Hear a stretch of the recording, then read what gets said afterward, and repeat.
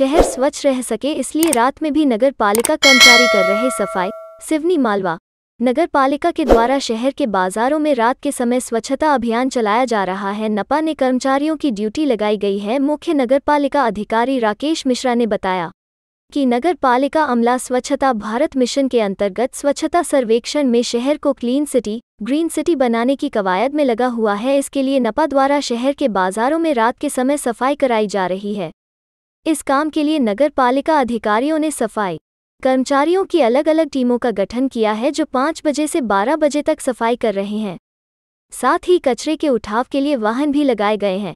कड़कड़ाती सर्दी के बावजूद रात 12 बजे तक सड़कों पर झाड़ू लगाकर कचरा उठाकर ढोया जा रहा है, मुख्य नगरपालिका अधिकारी राकेश मिश्रा ने बताया कि रात में सफ़ाई के बाद मार्केट साफ़ सुथरे रहें। इसके लिए दुकानदारों को जागरूक किया जाएगा।